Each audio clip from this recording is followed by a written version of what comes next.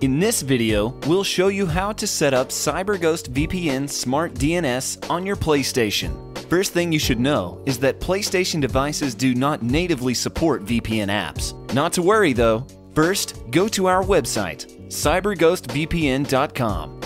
Then select My Account. In your account, make sure to activate your IP address.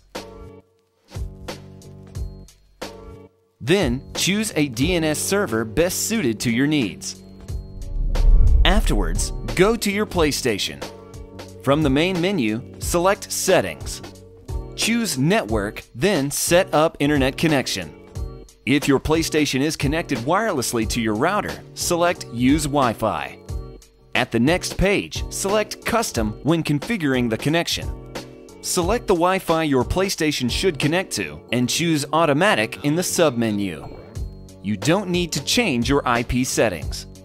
Under DHCP host name, select Do Not Specify.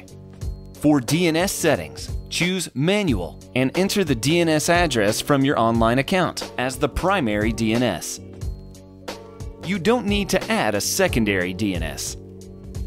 For MTU settings, select Automatic and under Proxy Server, select Do Not Use. Restart your PlayStation for these settings to take effect.